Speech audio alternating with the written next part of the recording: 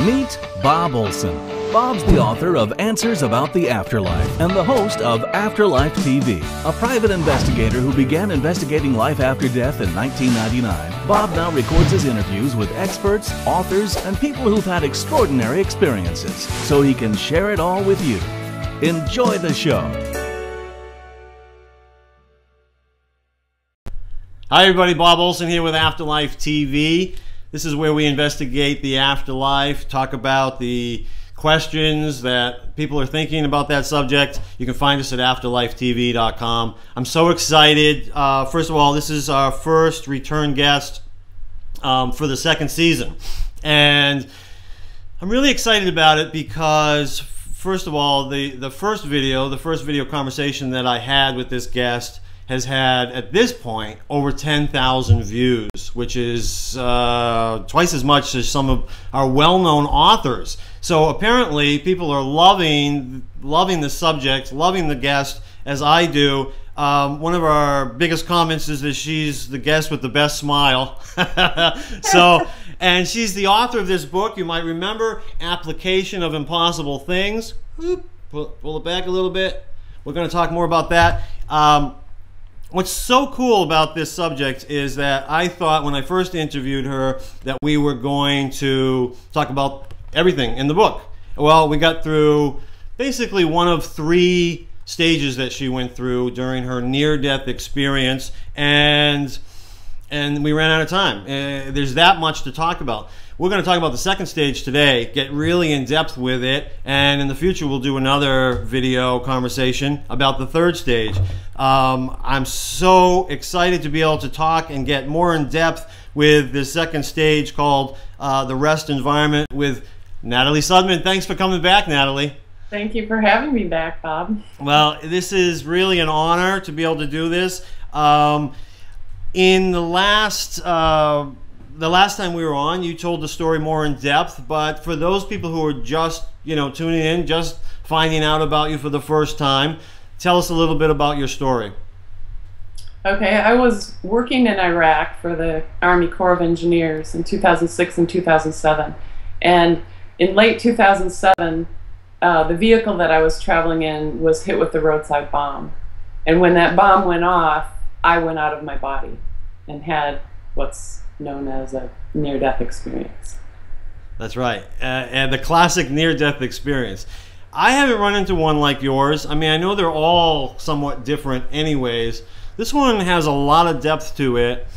Uh, one of the interesting things, and this is going to leading to my first question. One of my interesting things is when you um, was, you called it the blink environment because basically you blinked and there you were in this new environment. You uh, described it as being almost like on stage in front of thousands of beings, as if you were uh, a rock star in a, in a large stadium. And you were downloading information to them. What kind of information were you downloading to them?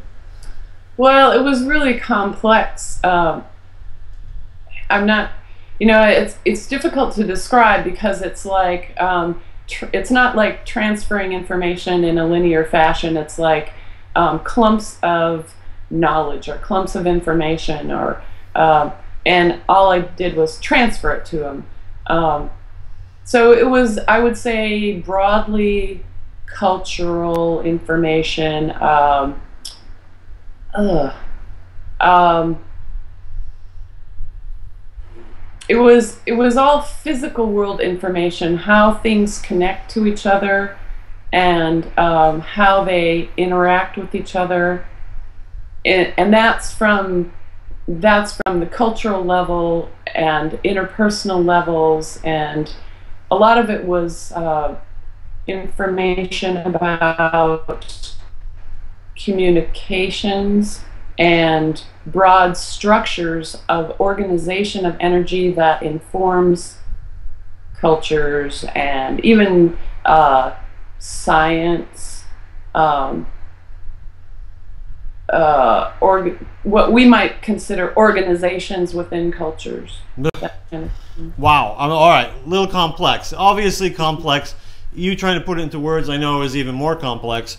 Uh, but basically, this is information that these beings would uh, as a being, you can only get from having a physical life, right? And so you're telling them right. what is it just this lifetime? Are you just tr- downloading information from this lifetime that you've gained? No. Uh, I would say some of the information was from this lifetime and from this present moment of where the world is right now. But it's more, it was more of, a lot of it was, I mean, beyond what we would consider to be the physical world. You know, it was energy structures. Yeah.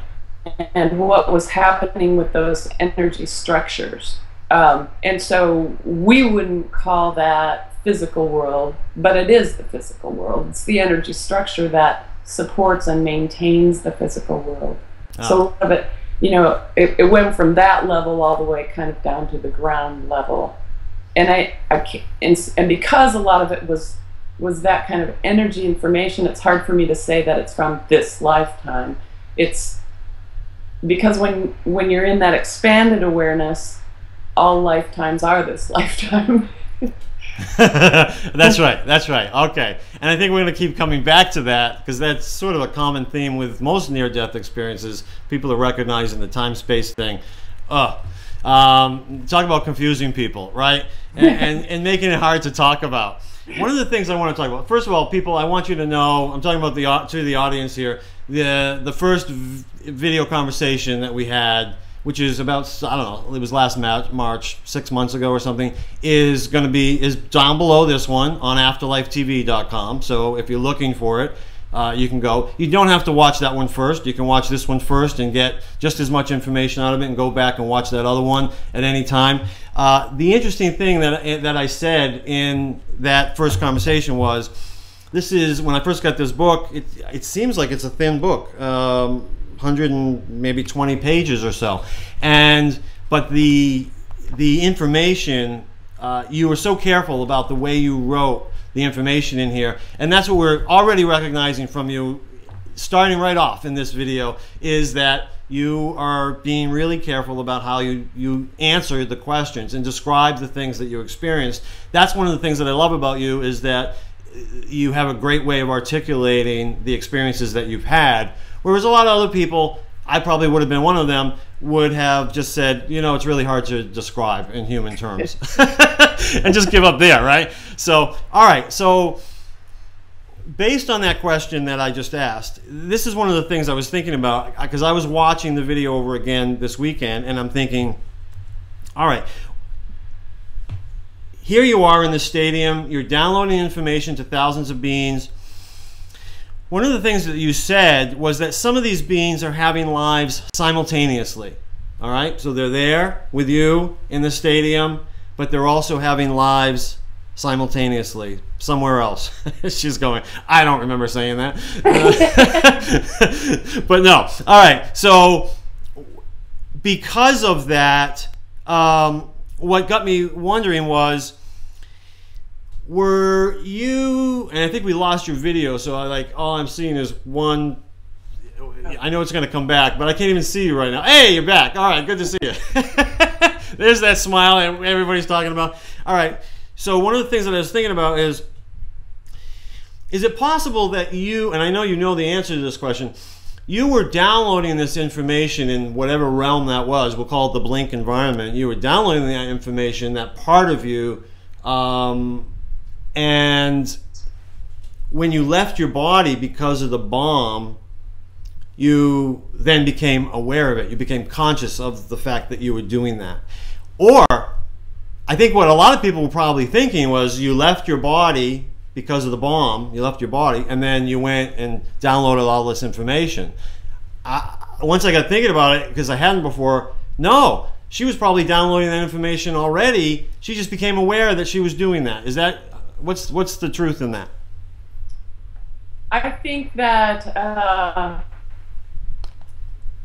I think that you're right in that all I did was shift my focus as a consciousness, as a being. I'm I was I think that I'm always downloading that information to them, but um, but that's kind of a background running thing. Whereas when I was when I left my body, then I shifted my I had all that extra awareness or that focus, I was able to just put that all on the downloading. Yeah. And so I may have, I mean, the, the downloading then may have become more intense or something. I don't, I don't really know, but, um, but yeah, I think that I'm doing, I'm doing that at the same time. I mean, it, because time is so different there too. That that question, in some ways, you know, I have to kind of break it down because in some ways, from the expanded awareness, it doesn't make sense. Of course, all things are happening simultaneously. So there's not that um, linear progression. And yet there is a kind of progression that's just way more complex than our than our very linear time Okay. progression. All right, but from our human physical perspective, most of us would think, because I did, I, I just automatically thought at the very beginning, oh, she left her body and then now she here, oh, and I thought she had to, she had to be, she had to hit this bomb to leave her body to go do this. That was all meant to be, but no, you were you were downloading already. You just became aware of it, and and it wasn't just you. So basically, we're all doing this each one of us, everybody watching this, we're all doing this. We're doing things on a spiritual level, things going on in the background, as you say. Great, great way of describing it. And we're just not aware of it. Yeah, we are. I mean, as spirits, we're more than just the focus that we have right here in this physical body. I mean, this certainly takes a very clear and uh, razor focus to stay in this body and maintain a body in the physical world. But but we're we're so much more than that, and we can we can maintain other things as well. That's very cool. I mean, my goodness, that's a mind blowing concept right there, um, I think. And so it leads me to ask you, because you're so good at articulating things, how would you even label then these different parts of ourselves?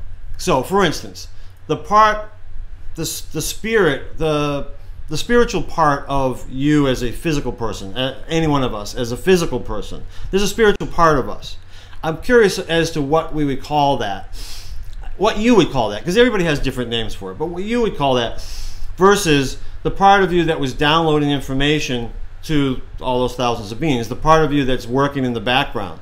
And then I'm wondering, is there a another part? Is there so I'm wondering if there is see I used to think of things in terms of um, okay, there's our physical self, there's our spirit, and I would think that our spirit would be within our physical self. Yeah, maybe it can come and go. I never really thought of it being in two places at once, so that confuses things for me a little bit. Um, so I thought when we when we die, when we pass, our spirit leaves our body, goes back into the spirit world. Bob, the spirit of Bob, will always be there. But I always thought of it sort of then there was another part of me which was my soul, which was me with all the other lifetimes that I've had, Bob and George and Larry and Susan, you know, so my soul is is a, the bigger part of me, the higher self, some people might call. Okay, um, but how would you define it then? So now I'm questioning if that is even accurate. How would you define these different parts of ourselves? Do you have names for them? Well, I mean, I guess I have a lot of names for them, depending because, I mean, what the way you think about it, that's accurate. It's not necessarily true, but it's accurate and it's it's um, practical and it's workable.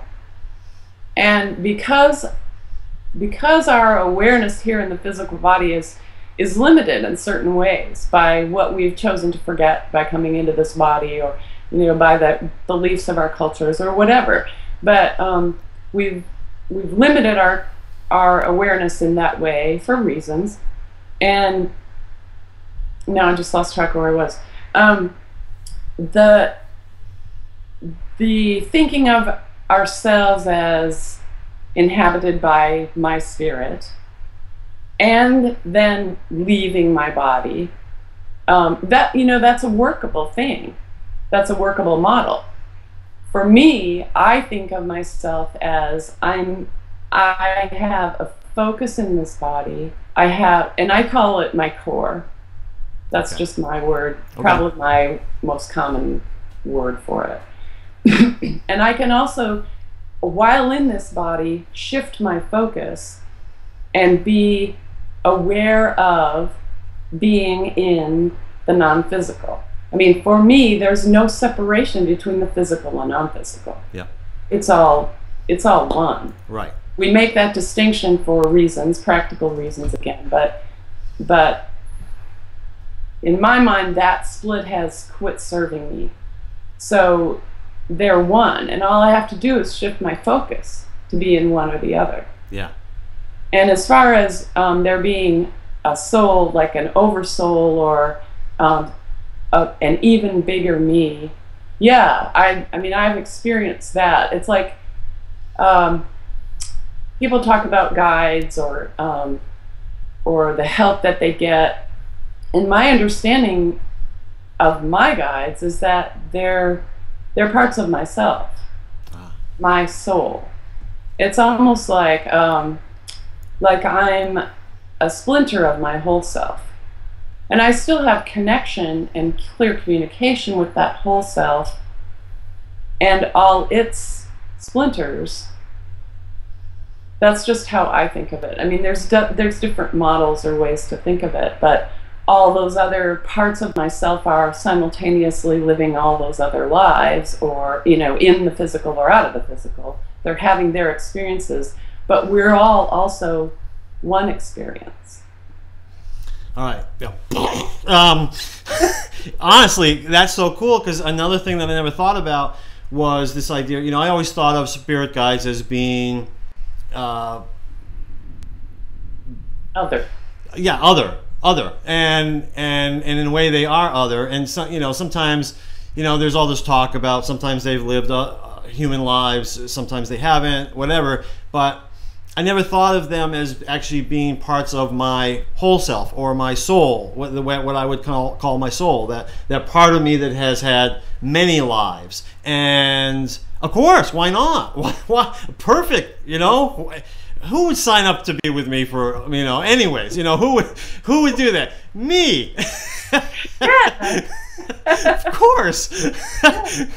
so, and then of course, when I go back and I'm upset about something, I can only blame myself. So, so someone left a great comment. You know, if if I have a really lousy life, am I not then a victim of my own soul's choices? And it's like, well, I guess you could use the word victim if you see yourself separate as your soul, but and certainly in this case. Victim of anything. No, well, exactly, but but you know, there's a lot of people coming in, eh, you know, eh, with a lot of different consciousness, and so they were trying to make sense of it. This even helps even more because it's like, you know, this isn't even your spirit. This isn't like some separate spirit guide who are making these, you know, helping you along and messing up your life. This is this is still parts of you. so if you can be mad at yourself, okay, you know, we'll be mad at ourselves, and we probably will be. Um, many of us. All right, that really helps. Thank you for doing that. Uh, I'm so glad I asked that question. That just changes so much for me. All right, so we were in the Blink environment. The Blink environment was the first stage, first interview that we did. So much to it, so incredible. The, all the things that you taught us in that in that interview. This time we're going to talk about the the the rest environment, R-E-S-T environment. Uh, you call it the R&R stage or or the recuperate and restore energy stage, whatever it may be. Uh, let's just start about when you first went into that stage. Now, again, I understand there's no there's no linear progression of how all these things happen. It's kind of all happening at once. But at the beginning, you talk about rather than just move like from one place, like the blink environment to the rest of the environment, you say you sort of fold in upon yourself. Love that. Love that phrase. Let's start from there. Ex- explain what that is a a little bit. Folding in upon yourself, and then what happens from that point on. It feels like um, folding in upon myself. It just feels like um, going. Well, to me, it almost feels like turning inside out.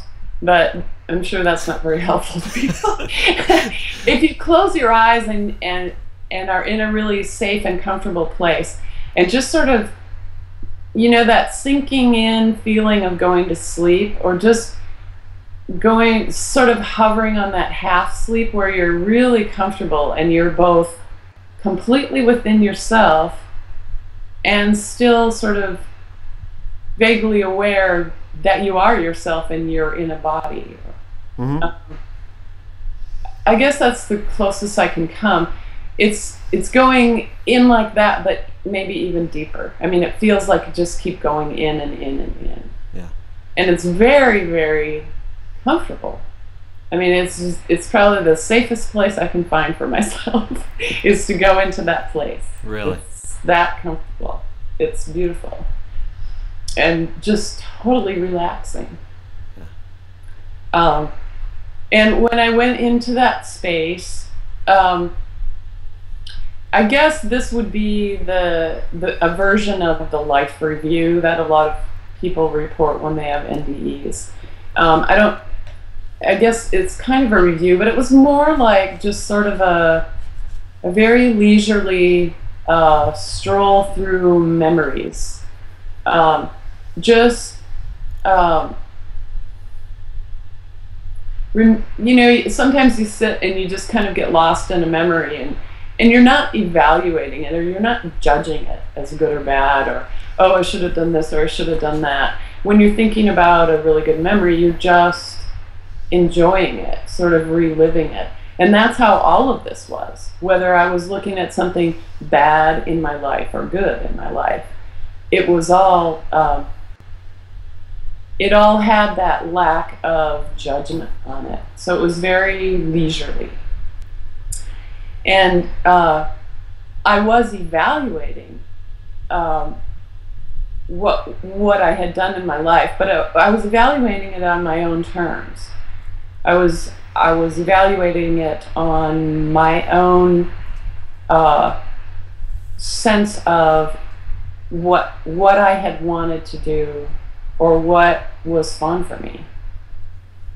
So um, and there were there were a couple other beings with me, but I was it was almost like they were texts or something. I mean, I was paying no attention to them. They were I could tell that they were sort of tweaking little energy flows or something in me, almost like tuning a car.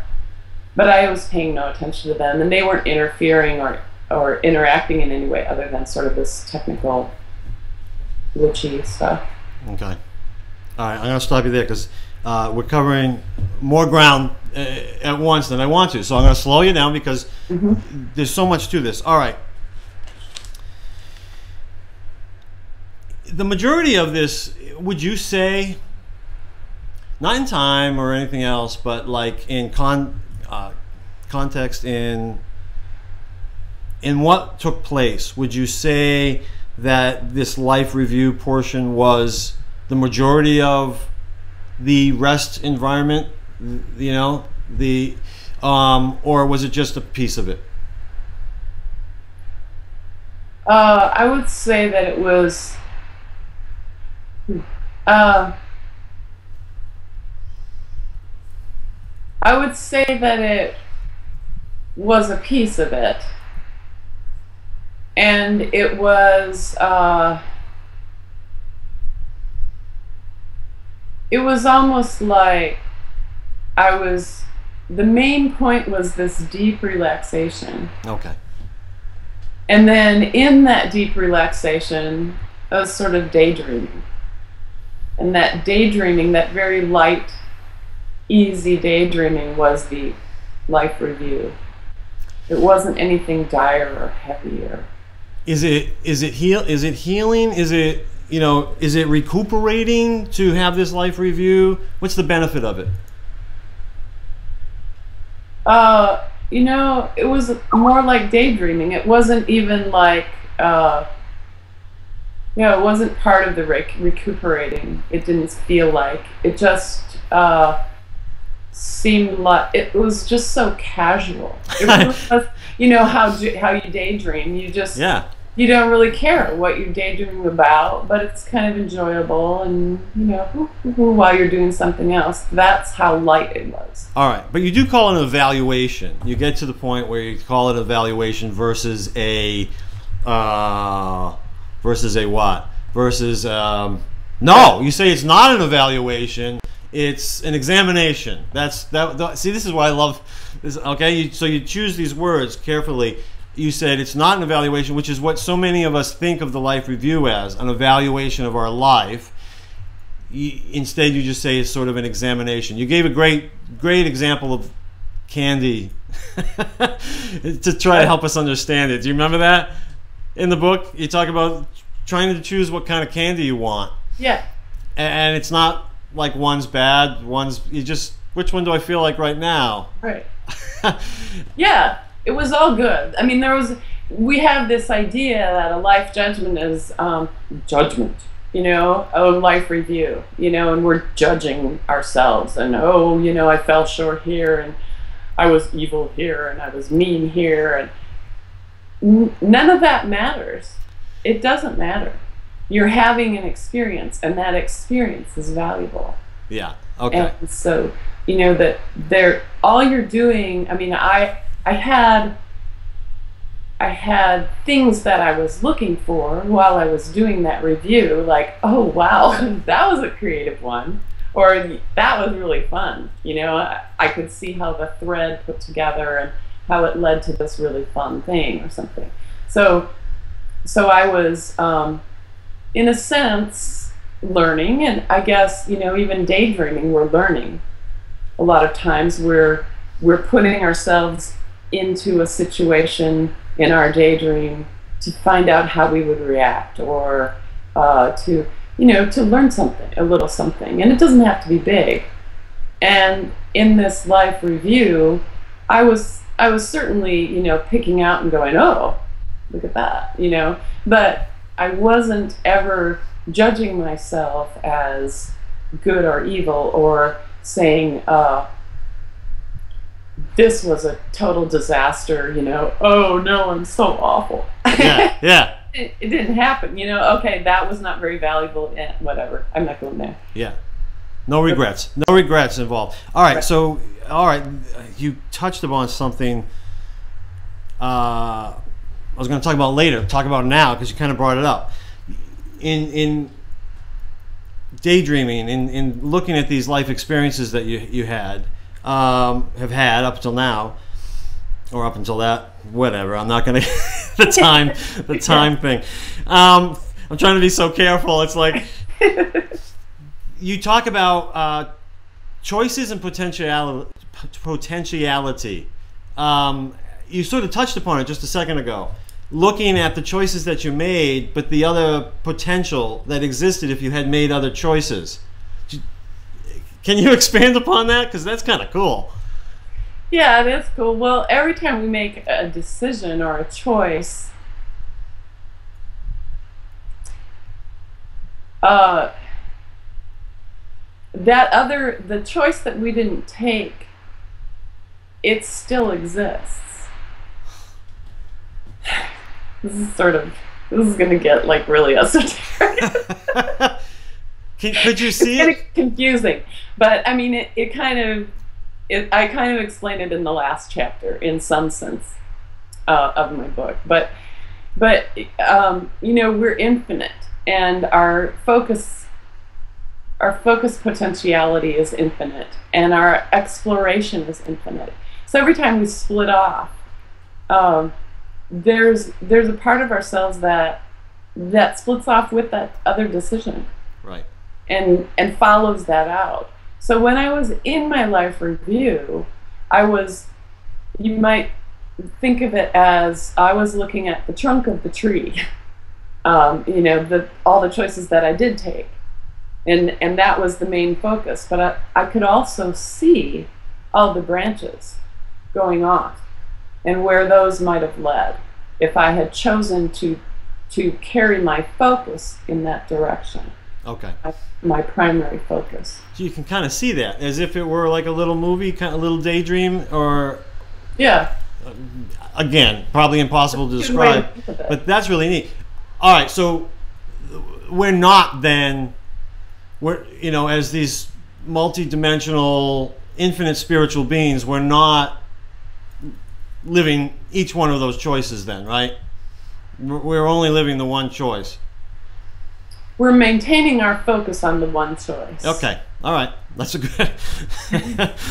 you, got, you got me there. All right. Put me in my place. No, no, No, no, I'm just kidding. Okay, no, it's great. I, I didn't think I didn't think that we were, but I but when you start talking to someone like you who has had these experiences, I now I'm starting to think anything's possible. So yeah, maybe we're living all the choices, and then and well, then you know, and and that could be possible, I suppose. I mean, my brain can't even get around that, so I don't go there. I say I'm maintaining my focus here, and if other me's are splitting off and living their living out their choices, that's okay, and I'll find that out later. But Yeah. right now, my little brain can't handle that. Well, I'm, I'm gonna live with I'm gonna I'm gonna settle on that one because then every time I make a mistake, I'll go. Well, I actually didn't make. The, I made the mistake here, but I made the, I made the right choice somewhere else, and I'll be happy about it later. right. okay, so in this in this um, variation of the life review that you talk about, you drift into reflection. You talk about layers and links. Do you remember talking about layers and links? All right, I knew I was going to have to read at one point. You'll have to read I No. read the whole book again this morning. Yeah, yeah, exactly. All right, layers and links.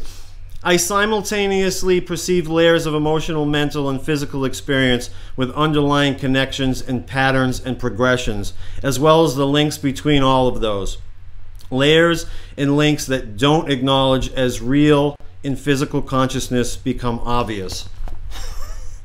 What's that mean?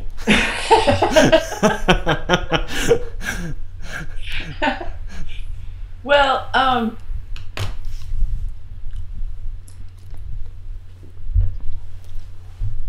in our physical world experience, like even take this experience right here, it um, we're not aware of all the little strings and pieces and parts and decisions and emotions that led to you and I sitting here talking to each other. right. Whereas in an expanded awareness, you you can focus and become aware of every single little piece that led to this moment hmm.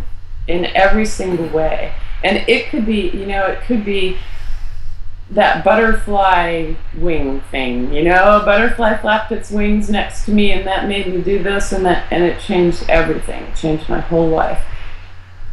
Um, it's that detailed if if you want to focus there. And that kind of being able to see that kind of depth and those kinds of layers and layers and layers and details um, it's not difficult to comprehend on the expanded awareness level the way it would be here. I mean we'd have to linearly lin, in a linear way think through each of those things and go oh that and that and that and that, and that Yeah. but being able to comprehend it as a whole and understand all the energy movement, which is the important part for me because that's what I was interested in. Yeah. Um, the energy movement and the energy patterns that led to XYZ. Those were the things that interested me, and they were, although they seem incomprehensible to understand or, or take in from a physical mind viewpoint, on that level they were not difficult. That's that's right. You could understand them a lot better, um, and they and they are interesting. I think to a lot of our audience as well. And some people, uh, my guest uh, Graham Nicholls, who talked about out of body experiences a couple weeks ago, called it the lattice. Of course, many people call it the matrix. I mean, we're kind of talking about the same thing. Yeah. You then go in the book from talking about the layers and links to talking about coincidences. It's this is where coincidences happen. Let me just give you an example. Um, I I had emailed you. Well, I, I mean, I don't know. I had emailed you just to let you know, hey, you know, your video has had over 10,000 views. Next thing I know, you're going to be in DC because in Arizona, you we can't do this. You you don't have good internet connection. This is where we do it, and and that was quite a coincidence that I happened to email you just as just before you were going to be going there.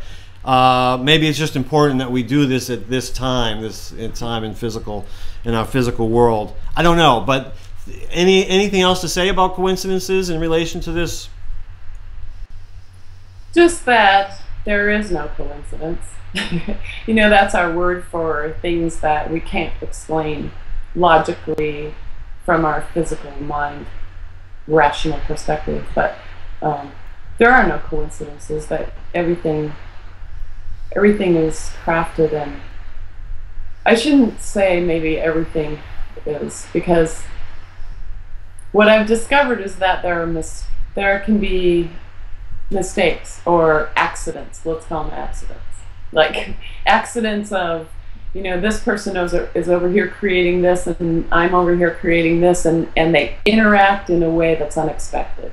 Yeah. So in that way, there are accidents, but you know, most of the time, in my experience, uh, coincidence is is actually communication and and a higher self crafting some particular thing. All right, so I was kind of wondering about that. I wondered, is this just creative intelligence? You know, the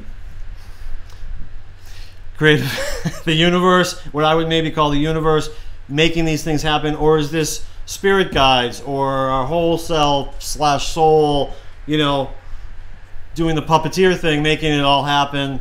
Uh, from your experience, all the same thing. Same thing. okay, you got me there. You're right. Well, no, from I, awareness, but you know, it, and and honestly, I it's at different times I think of it in different ways. Yeah. Because it's maybe it's useful sometimes to make the distinction between is that my soul or is that um, a spirit guide guiding me or is that you know the universal flows of energy, God, whatever you want to call it. Sometimes it is useful for me to make that distinction, but in the end, those are all the same thing. You know, we are we are our spirit guides. we are one. Right. And everything is one, which means that we are God. We are God, or God is us through us, whatever word you want to use for that, source, goddess, whatever. Yep. It's all the same thing that we're talking about with those words. And yeah, and so sometimes it's useful to make the distinction, and sometimes it's maybe more useful to stretch our minds and understand that all those things are the same things. They are me. And while you can say that there are no coincidences, not everything also is necessarily meaningful.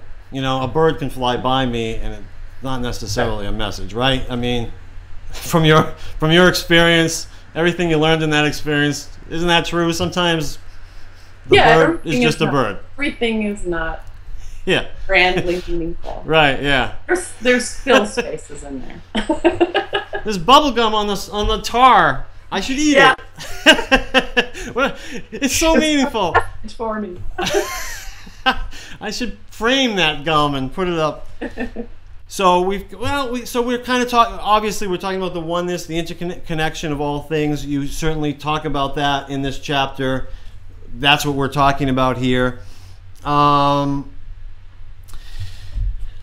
something else that just seemed to come in this chapter for whatever reason, I loved it. Uh, in this section of the chapter, we had talked about it in the last video. I had asked you what something uh, with the afterlife uh, sounded like, and we, and you you had never been asked that before, but you recognized that um, the it affected all the all the senses were affected at once. And one of the things, just a little quote, you you said that the senses are linked; they're informing each other. I loved the idea of them informing each other.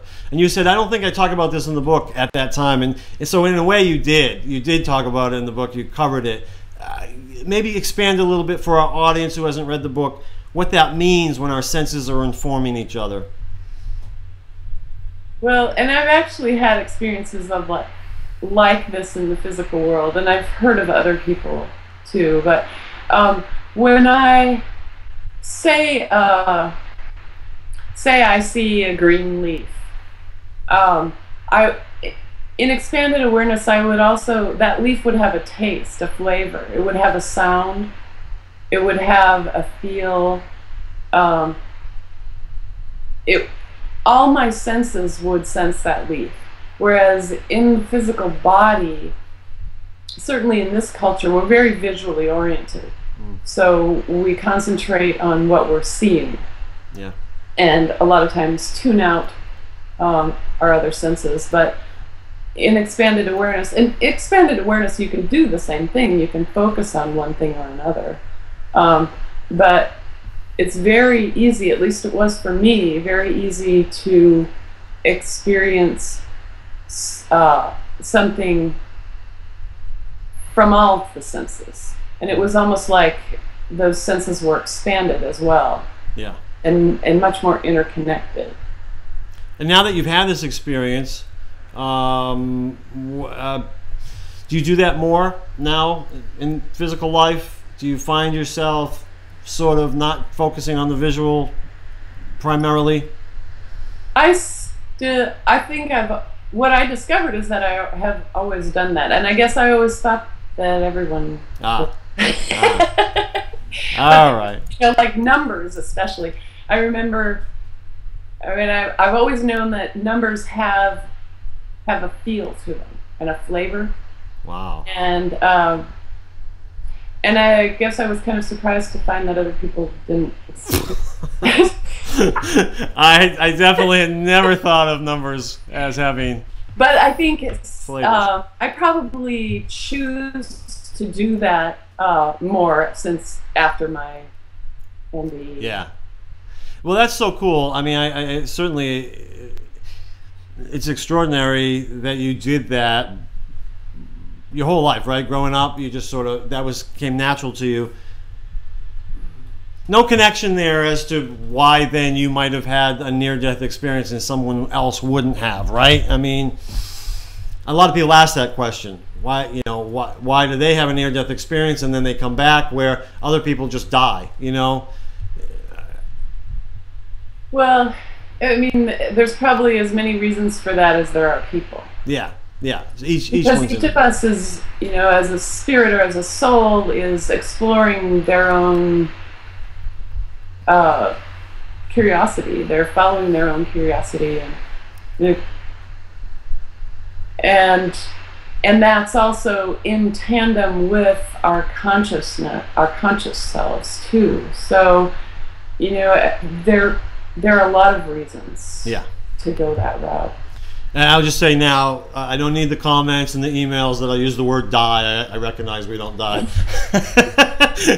Hopefully, the host of Afterlife TV recognizes we don't die. Uh, all right, so let's see the next the next step. The next uh, thing that I wanted to talk about, which is sort of the next step in, if we gave it a linear progression here, well, you kind of covered this. You said, you know, life is evaluated on the basis of usefulness toward personal creative ends. You did cover that a little bit. Uh, I liked that you talked about that, though. How was that useful? Sort of that that word. How was that useful? We talked about the choices and everything. And one of one of the things you looked at was whether they were useful towards your personal creative ends or not. Just a great, great uh, little paraphrasing or quote from you on there. And then you also talked about how small actions interconnected and, and, and sent ripples to far-reaching effects. Again, this is the links and the layers, and we're you know many of us aware are aware of the ripple effect of things that that happen in life, things choices that we make. but you sort of take it to a whole new level when you were talking about, you know, those links and layers and, and coincidences. Um, any more to say about that before we move on from that? No, I don't think so. Other than, um, I think it might be a tendency of some people to then overthink their choices, like try to figure out, oh my God, if this is that far reaching, then I have to make the right decision. I can tell you that every any decision you make is the right decision. You don't have to, you know, oh, angst out about making the little decisions, Okay. which I certainly used to do. Yeah. Sometimes still slip back into, but um, because you, it's easy to do that because you know how far-reaching they are. But honestly, any any decision you make is going to be acceptable and good from Right. a spirit point of view. Okay, from a spirit point. of view. It will always be valuable from a spirit point of view. Even if it does harm to another? Well, harm to another. I mean, that's that's a physical world judgment. Yep. You know, it may be. Yeah, that gets into. Um, I know, I put you on the spot. You, you can't fully describe that in a, a short interview like this. to be either in the physical world or in expanded awareness for that to make sense. Yeah, you know, okay. when you're straddling those, then it it's gonna take longer than an hour to explain. That's right. All right. But with that said, so everybody, you know, don't don't jump all over her because you know she's just telling her truth, right? You're telling Mhm. your truth based on your experiences. But, um, you know, when someone does do harm to another, do you believe that there's any soul contract type of thing? People call it that. Do you think there's any contract between them ahead of time? You know, I'll murder you. you know, I think um, that's another that's another case of every answer being different for every person. do you I think mean, it's I, possible? I think some people do make a lot of um, people call them contracts. I would call them agreements. Agreements. It's not a contract. You can get out of it. You can change your mind anytime you want to. Yep. And people, I know people aren't going to like that. Some people are going to argue, but that's my experience. Yeah. You can, you, know, you can always choose not to do it. Ah. But, um, but those agreements, those agreements are made on, on a spirit level, and so the value is obvious up there, and um, or over there, or right here. Yeah. Yeah. but that doesn't mean that you don't still play out the physical emotions and the physical judgments. I mean, that's part of the physical, our physical experience is experiencing all of that. It's like you can write a script for a movie and make it, you know, make somebody kill somebody and somebody rape somebody, all these awful things in this movie. And then you can act out the movie and then you can show the movie and we think it's you know we, we know that it's not real Yeah. well on the from the spirit level that's that's kind of how it looks Mhm. even though when you're in it yeah it feels real and it's horrible Right. it's it can be wrenching it can be awful Yeah. that's real too and Yeah. it's it's valuable even though we may not see that That, and that's it. I mean, and, and that's a key, a key distinction to make. We're talking from a spiritual level here. We're talking from a spiritual level.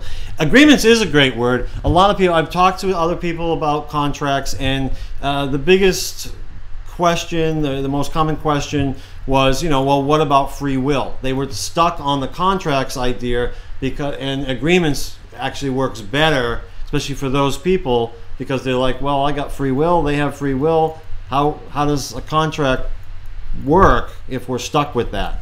Agreements allows you to, to change your mind later. So I like I like that phrase. All right, let's shake that off because heavy stuff. Blah, shake it off. let's move on. Um, so something a little more uh, less heavy. You talked about the rest rest environment as being very peaceful, and you described it. One of the reasons it was so peaceful was because there was a lack of. You had this. You had a long list of things. There was a lack of time limits, criticism, fear, uh, anticipation of punishment, recriminations, debts, outcomes, or conclusions. You said it's profoundly liberating. Tell us a little bit more about that. Well, I think in our in our physical world in our physical lives, we don't even realize how much all of those things come into play. Um, unconsciously, subconsciously, back of our minds, whatever. You know, you have the little voice going, uh, "You shouldn't do that. you know, you shouldn't eat that chocolate." is that what is that what yours sounds like? Yeah. it was more like. That's great. But um, there's there's a lot of we have a lot of underlying fears and and judgments and uh, recriminations and guilt that that influences how we move through the world. And some of those are useful. I mean, some of them probably uh, I don't know. I mean, just experiencing those things as a spirit is is actually fun. right. Believe. yeah, yeah, yeah, um, yeah, right. But also, you know, when you're in the movie, then you you follow the rules of the movie, you know. Yeah, yeah, yeah, yeah. And so we're following the rules of the movie, and some of that has to do with negotiating emotion, and um, and and experiencing a very specific um, cause and effect kind of a reality. Mm. So, so, so I'm not saying that those things are bad or good. They're not. They just are. Yeah. But when you can let go of all of that stuff, all of those little voices, and all of the reasons you should or shouldn't do things, and it, it, it is profoundly liberating. Yeah, I, I, I can understand that. Um, I, I, it's hard to imagine not having mm-hmm. those things, you know, th- those things going in your head all the time. But uh, the closest I could come to it when I was reading about, it, I was thinking of going on vacation. Like, yeah. there's something really liberating about going on vacation. You know, I'm I don't check my email, you know, all the time. I'm not checking my phone all the time. You know, like I'm just away. I'm giving myself permission to be free. Yes. From those things, and I and so I was thinking, wow, if that feels that good, imagine what it's like to just wipe it all clean, right? Yeah. Must have been amazing. I like that you use the word permission. Oh, yeah. So, uh, you know, a lot of times we can just give our, we don't even realize that we're, we're the ones not giving ourselves permission yeah. to set aside the fear. Yeah. We have to, you know, sometimes I just go, wait a minute, why am I not doing that? I'm going to give myself permission to do that, you know, and then suddenly it's like being on vacation. Oh, I can eat that chocolate. Yeah, yeah. Gave right. myself permission. yeah, yeah. That's right. Yeah. I, I can remember being on this, uh, whatever, six, seven years ago, being on this particular type of workout that I was doing. And, and you could have a free day. You had a free day. You know, you had to be so strict about everything all week long, but you had a free day, and it was it was it was giving yourself permission. Eat whatever you want. You know, don't exercise. Just you know, have a great day um, without all the commitments that you've made. And I, I thought about how, wow, that's amazing. Like, we could do that with so many parts of our lives, you know? So, anyways, interesting. I love, I love that point. I thought it was important. Uh, what do we got here? Okay, again, you touched upon it very uh, briefly. Uh, you're in the, this rest environment. You've folded in upon yourself. You've had all these experiences and and, and that we've talked about. Are there other beings there? Uh, obviously, there are, because you mentioned that they were. Uh, tell us the first question, because you you gave the answer in the book. Who decides who is present in this rest environment where you're at? Oh, I decide. It's my environment.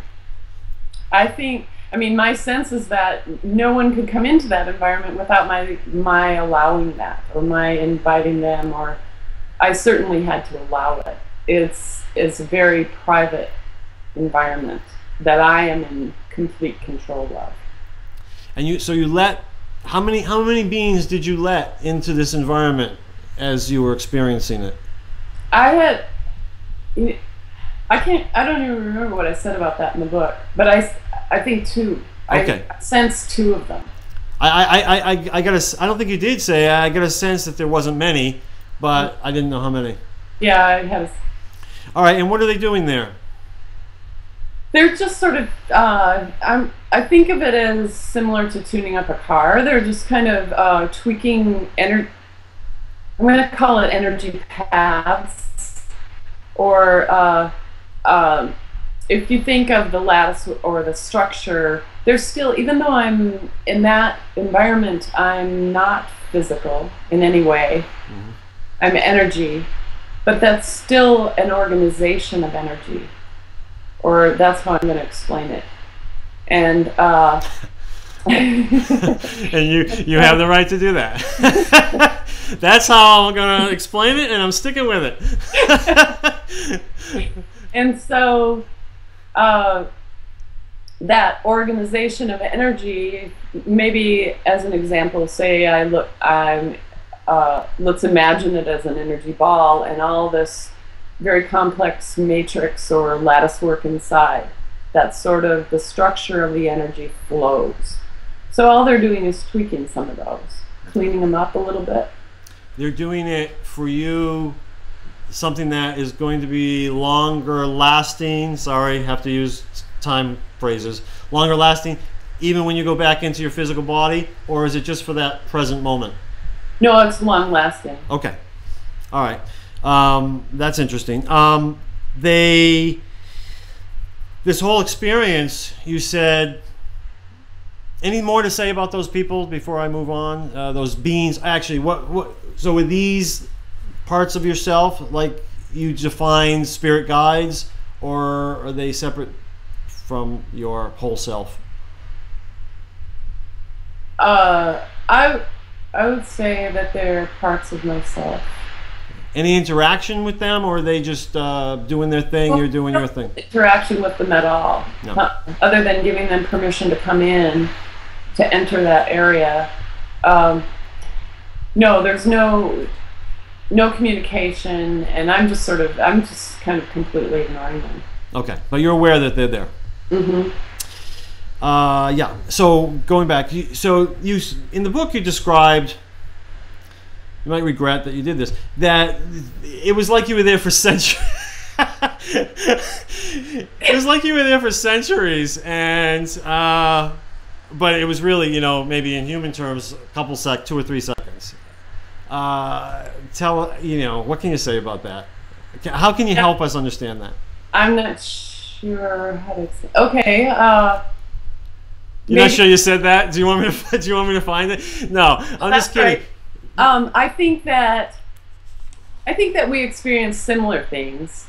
You know, when we're daydreaming, a lot of times uh, time will pass.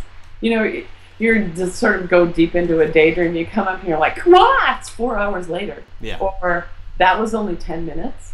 yeah, You know, that kind of. I don't know. You can fit a lot into a short amount of time, or you can kind of stretch time out. I think. definitely, definitely. I mean, when we're writing, playing music, when we're you know really uh, having an experience like that, certainly time flies by. Uh, I, I also thought of it. I've had I've had anesthesia, you know, and it's the reverse, but it's the re- sort of the reverse of that. So I come out of anesthesia, it feels like it's been two seconds, Right. and they're like, "Oh, it was a six-hour surgery," you know. what? Yeah. How'd that Yeah. happen? very similar. You know, so when I'm in this the rest environment, when I'm in there, I'm not a, you know, you know that's another outside of time thing too. That there is no time, so that you know I, I describe all those going through all these environments kind of as in a linear fashion, and they weren't necessarily in a linear progression either. So I'm even though I'm in the blink environment, I'm also in the rest environment at the same time or and yet you know again it's a it's a matter of shifting focus Yeah. so i can go back there i can be there at any time i want to right now Okay. because all it is is a focus shift but um, the amount of time that I spent there during focused in this environment, in this experience of an NDE, um, it felt like hours and hours and hours, an equivalent of hours and hours and hours. Yeah, yeah. And yet, when I went back to the blink environment afterward, it was again like I had been gone just for, you know, a blink. yeah. And, and, and that's what happens. And so you shift your focus, you're back into the blink environment, the environment of the last interview, right? Mm-hmm. After after this one. Um, time has gone by. Uh, a couple. you know, you say some really important things about belief, beliefs, and intent uh, in there, and I, I just kind of feel like it would be great to. What did you learn while you were in there about the power of our beliefs and the power of our intentions while you're I don't know. I think you, I, I couldn't tell if you were still in the rest environment or you had got back into the blink environment. Doesn't really matter. But what did you learn about bel- beliefs? You would use the example of a guy and money. You know the way he thinks about money. Yeah, our conscious beliefs have a huge impact on on what we create and how we create. Um, you can, you know, there's our whole self experiencing things through this body or um, through this reality, and uh, and sometimes that intention comes through, but a lot of times our conscious mind is the one creating, and that's okay. I mean, that's what we're here to do. Hmm. Um, I think, or at least some of us are. Um, but they, they they interact, and sometimes they don't interact. It's possible to hold a um, a desire that has beliefs that conflict with that, and we don't even realize that our beliefs are, are, are the ones keeping us from having that. I, I use the example of um, a man wanting money. And, um, you, you, know, somebody wants to be rich or someone wants a bunch of money. Um, well, if they grew up in a Christian background and believe that rich people, you know, can't get to heaven, and yet, and so they want to get to heaven and they want to be good people. Uh, if they think that rich people are greedy and insensitive and nasty people, um, then they're not going to allow themselves to manifest that money because then they would be nasty, greedy, awful people who won't get to heaven. Right. So it's a matter of clearing beliefs that conflict with the things we want sometimes. Right. And, and, a lot of those beliefs are just learned. They're learned from our parents, from our mentors, and uh, from our upbringing. Upbringing. Uh, let's see. The last thing, the last thing that you actually did, um, talked about in this chapter was you talked about how you had sort of requested assistance. It almost seemed like you were wheeling and dealing here, making make, make, making some some uh, some deals where you they wanted you to go back and get some more information, bring some more data back so you could download. But uh, you had asked for assistance in maintaining a, a, degree of whole conscious awareness while you're back in your physical body. Uh, why did you do that, and how were they? How were they supposed to help you with that? Um, why did I do that? Because I had I just came from the physical, and I think I had a very clear memory of how difficult that can be. Mm. Um, so and uh, I mean, a, a sort of another why I did that. Why I would want to keep more of a, an awareness is that in in my life to date uh, the really hard things have been really valuable, but it, they would have been maybe a little less wrenching or difficult had I been able to remember that this is uh, this has a higher purpose and this has a higher value, or it is valuable. It's not just random pain or yeah. or uh, it's not punishment in any way. It's just um, keeping that awareness. Also, there have been times in my life when I've said, okay, that's enough of that. I'm just, you know, that's gotten too weird. I'm setting that aside. I'm not going there.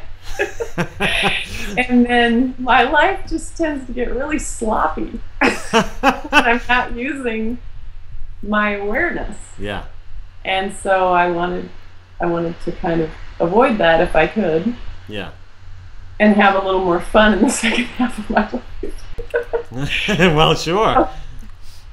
Um, and uh, you know, it's it's almost like you know we think of it, and I expressed it in a way that that made it sound like I said, "W- "I'm going to go back down there. Could I please have some help?" But it's not like that. it's more like just emanating, uh, emanating a request with that already includes gratitude because you know it's going to happen. yeah, yeah. You know it'll be granted. Has it happened? Yeah. One of the things you asked if if they could send you reminders along the way. Um, maybe they could, you know, you know, toss hints or clues or you know things along your path to sort of wake you up from the physical, you know, blindness that we sometimes have. Uh, Have you recognized any of those things happening where you kind of was like, "Whoa, oh yeah, I gotta, I gotta remember." Yeah, I think they happen a lot. And I think they probably happen a lot to everybody if Yeah. we pay attention. But a lot of times, especially these days, you know, a lot of times we're multitasking. Yeah. And when you multitask, you're not really paying close attention to the one thing you're doing. Right. And, uh, and so I think we miss things. Yeah. But a kind of a funny, um, kind of a quirky little thing that happened just last week or the week before. I was thinking about, oh, wouldn't it be nice to have a dog? Maybe I will get a dog. I've been putting it off because I travel a lot and I thought that's not really fair to the dog. So, uh, about two hours after I've been thinking about that, I was sitting in my living room and uh, a puppy that was maybe a couple months old came running up to my back door window and was looking in and just sat down and looking in like, hello. And I thought, whoa. So I went out there and I was playing with the dog and and uh, I thought that eventually it would run home where it was from, and it didn't. It hung around for hours and hours, and finally I checked its tags, its name tag. Its name was Angel. Oh, no way. No way. and I ended up taking it back to the guy who owned it. But you know, that's the kind of it's like you know that dog's name could have been anything. yeah, that's right. It was just a little reminder. yeah, yeah, that's pretty powerful. So, so your your power of intent is very very strong. Um, the last thing I'll say, I mean, this will be the longest interview I ever do, but I, I think it's important. I'm not gonna I'm not gonna worry about the time when something like this is so important. We're almost done here, but I, I thought it was funny. If you also asked them to provide you with skills that would allow your life to be a little more entertaining.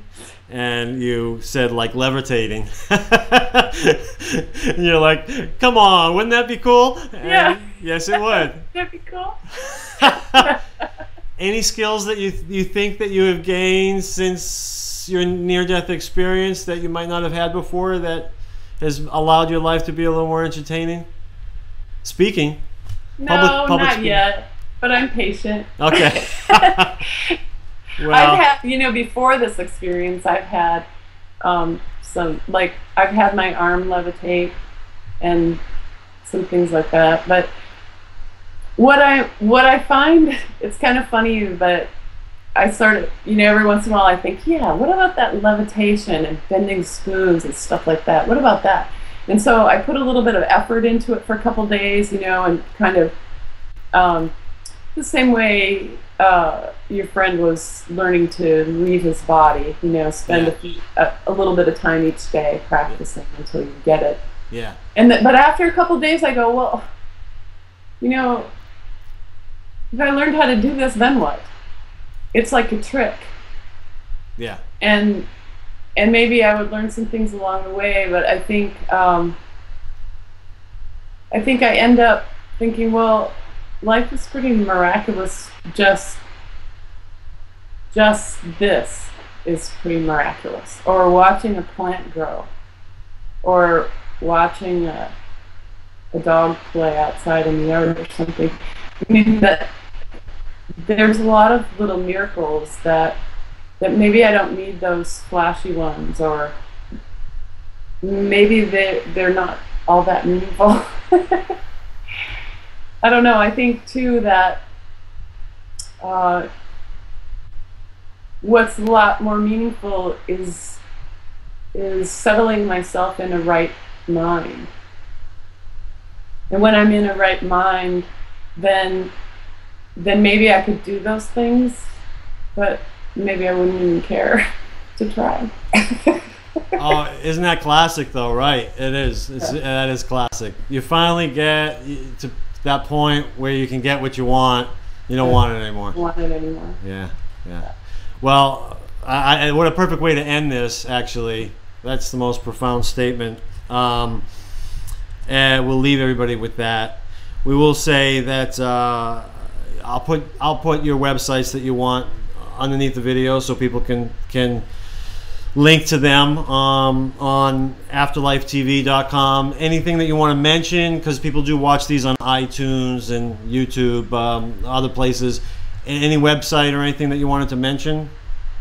Um, I have a blog at www.traceofelements.wordpress.com. Trace traceofelements.wordpress.com. Okay. All right, that's your blog and you're going to be on the television show Unexplained. It's mm-hmm. on with the big X planes, Unexplained, uh, which is on the Biography channel. You'll be on September 15th, 2012. So if people watch this ahead of time, you'll be able to see it at 10 p.m. Eastern. That, is that all about out-of-body experiences? What's that about? I know it's about the Monroe Institute, right?